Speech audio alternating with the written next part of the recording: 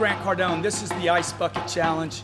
This is to fight the ALS disease, also known as the Lou Gehrig disease. You can make your donations to alsa.com.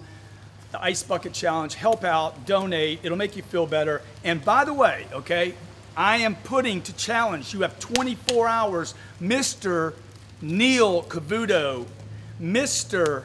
Steve Harvey, sir, you have 24 hours. I'll be on tour with you next month. Mr. Tony Robbins, I'll see you in Indianapolis, sir. You have 24 hours to take the Ice Bucket Challenge. And Mr. Eric Shepard, president of Rolls Royce, you have 23 hours and 54 seconds, sir. Let's get this done.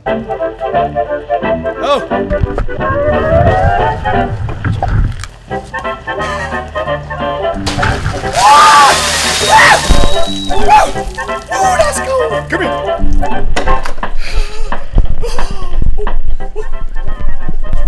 Challenge, baby. Ice bucket challenge. Let's get it.